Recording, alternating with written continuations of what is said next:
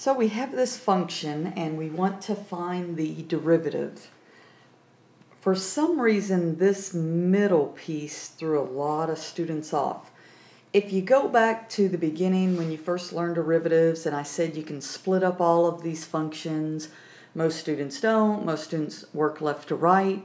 Well, if you're starting to see yourself struggle as the problems are getting more difficult, maybe I would spend the time and do this. Meaning I want to find the derivative of cotangent x minus, whenever I have a constant, I'm going to throw it out front and find the derivative of square roots of 5x. Plus I have another constant and I'm going to find the derivative of e to the negative 7x. And this is for those of you that are, are starting to see as the functions are getting a little more difficult, maybe you need to break it down like this. You need to look at it in parts.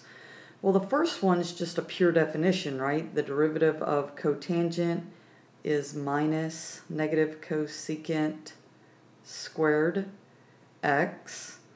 We have that constant of 3 there.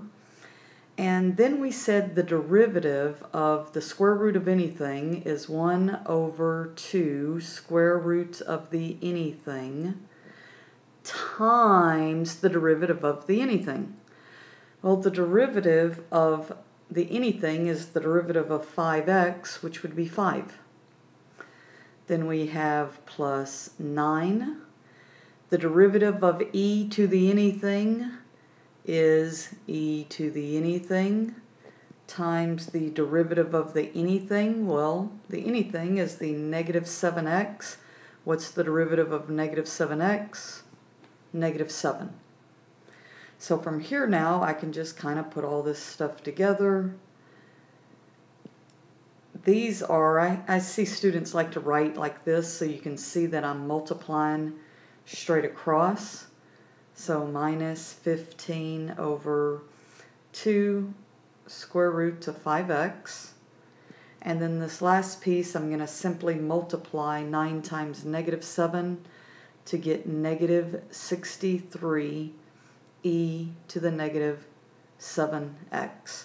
And again, if you're starting to see you're struggling because you can't break apart these mentally going from left to right, then start breaking them apart like this. There's nothing wrong with doing more steps if it helps you see how to take each derivative individually and definitely throw the constants out front.